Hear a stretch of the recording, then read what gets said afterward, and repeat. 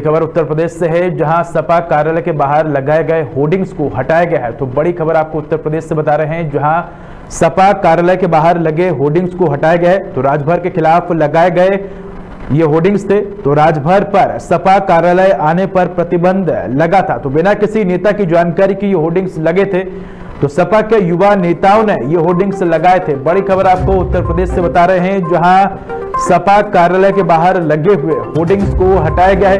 राजभर के खिलाफ ये होर्डिंग्स लगाई गई थी तो राजभर पर सपा कार्यालय आने पर प्रतिबंध लगा था। आपको बता दें कि सपा के युवा नेताओं ने ये होर्डिंग्स लगाई थी तो बिना किसी नेता की जानकारी के ये होर्डिंग्स लगाई गई थी।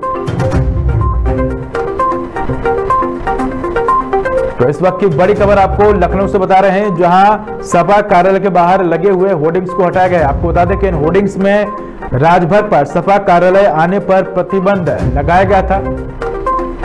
तो राजभर के खिलाफ ये होर्डिंग्स लगाई गई थी। आपको बता दें कि सपा के युवा नेता ने ये होर्डिंग्स लगाई थी और बिना किसी नेता की जानकारी की ये होर्डिंग्स लगाई गई थी। तो इसी खबर पर देख के जानकारी के लिए हमारे साथ सहयोगी अविनाश जुड़ चुके हैं। अविनाश, अगर बात करें तो जिस तरह के होर्डिंग्स लगाए गए थे, हम देख रहे हैं कि अब उन होर्डिंग्स को हटा दिया गया दूसरी सबसे बड़ी बात यह कि बिना किसी बड़े नेता की जानकारी की होर्डिंग्स लगाए गए थे।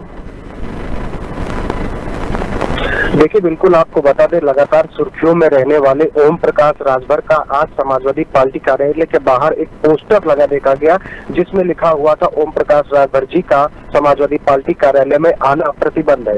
हालाँकि ये पोस्टर जो है, युवा जो समाजवादी पार्टी युजन सभा के संतोष सिंह ने ये जो है, वो पोस्टर लगाया था। हालाँकि समाजवादी पार्टी की तरफ़ से कहा गया कि किसी शीर्ष नेतृत्व की जानकारी में नहीं थी इस पोस्टर के तो अनंत फनन में ये जो पोस्टर है, वहाँ से समाजवादी पार्टी कार्यालय से तो हटा दिया गया लेकिन अगर इस पूरे पोस्टर पर विवाद की अगर हम बात करें तो सुहेल देव समाज पार्टी के अरुण राजभर, जो कि जो है ओम प्रकाश राजभर के बेटे हैं, उन्होंने समाजवादी पार्टी पर हमला बोला है और तमाम तरीके के गंभीर आरोप जो है समाजवादी पार्टी पर लगाए। उन्होंने कहा है कि समाजवादी पार्टी के लोग सुभाषपा की लोकप्रियता से घबराए हुए हैं। सुभाषपा पार्टी की लोकप्रियता लगातार बढ़ रही है। लोग पिछड़ा हो, चाहे जो है, दलितों की बात करें, समाजवादी पार्टी की उत्तर प्रदेश में चार बार से सरकार रही, अधिक सरकार रही, इसके बावजूद भी पिछड़े लोगों का किसी तरीके कोई काम नहीं किया गया। साथ ही उन्होंने एक तंज कसते हुए थाने की दलाली का भी जो है मामला उस तरीके से उन्होंने अपने शब्दों में इस्तेमाल किया और बोला कि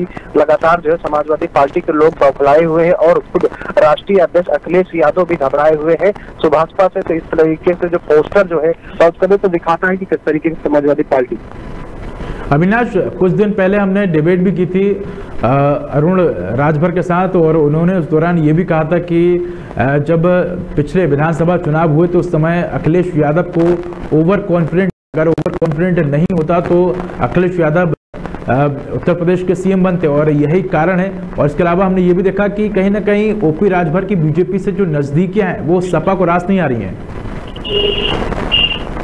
जी, बिल्कुल ठीक कहा आपने कि जिस तरीके से लगातार ओम प्रकाश राजभर की नजदीकी भारतीय जनता पार्टी में बढ़ती दिख रही तो कहीं ना कहीं कह सकते हैं कि समाजवादी पार्टी की तरफ़ से उन पर तरीके तरह तरीके के तंज कसे जा रहे हैं तो आज जिस तरीके से हमने देखा पोस्टर में, सुहेल देव समाज पार्टी के राष्ट्रीय अध्यक्ष ओम प्रकाश राजभर का समाजवादी पार्टी में प्रवेश वंचित जिस तरीके से दिया गया, और दूसरी तरफ़ जब समाजवादी पार्टी के जो शीर्ष नेतृत्व नेता है, उनका एक बयान आता है कि हमारी जानकारी नहीं थी कि इस तरीके से पोस्टर लगाए गया तो कहीं ना कहीं कह सकते हैं कि ये एक पोस्टर विवाद का विषय बना हुआ है।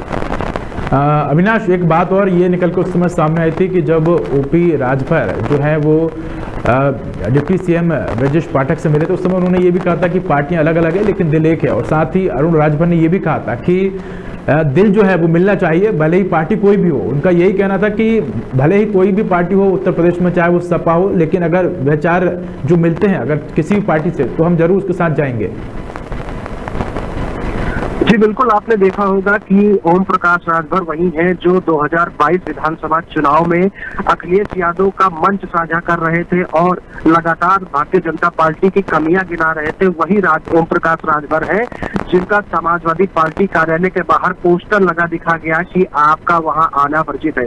तो कहीं ना कहीं कह सकते इसमें सियासत तेज हो चुकी है। तमाम तरीके के लोगों को इस पर प्रक्रिया आना चालू हो गई। साथ ही उनके जो बेटे हैं अरुण राजभर उन्होंने भी समाजवादी पार्टी पे तंज कसा है और कहा है समाजवादी पार्टी के जो जो है कार्यकर्ता है वो बौखलाए हुए हैं।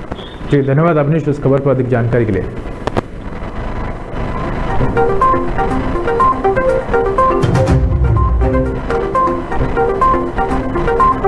तो आपको बता दें कि बड़ी खबर लखनऊ से है, जहाँ सपा कार्यालय के बाहर लगे हुए पोस्टर्स को हटा दिया है। आपको बता दें कि इन पोस्टर्स में ओपी राजभर को सपा कार्यालय में आने पर प्रतिबंध संबंधित पोस्टर लगे हुए थे और अब इन पोस्टर्स को हटा दिया गया तो आपको बता दें कि बिना किसी शीर्ष नेतृत्व की जानकारी के ये पोस्टर लगाए गए थे और इसके बाद इन पोस्टर्स को हटा दिया गया है।